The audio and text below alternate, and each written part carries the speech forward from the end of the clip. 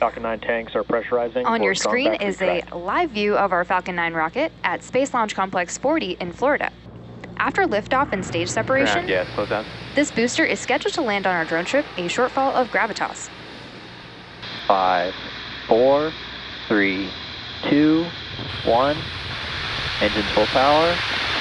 And liftoff of Starlink. Go Falcon, go Starlink.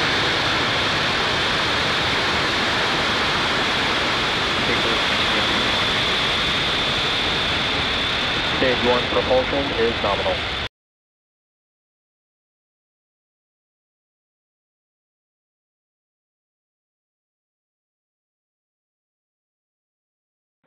Stage separation confirmed. MVAC ignition. So as you just saw and heard over the nets, we had successful MECO, stage separation, and SES-1. We're coming up on fairing separation from the second stage in just a few seconds. Stage one entry burn startup. Stage one FTS is safe. There's that call up for stage one entry burn.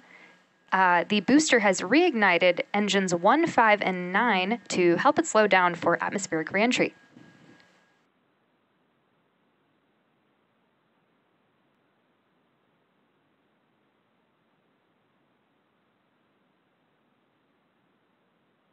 Stage one landing leg deploy.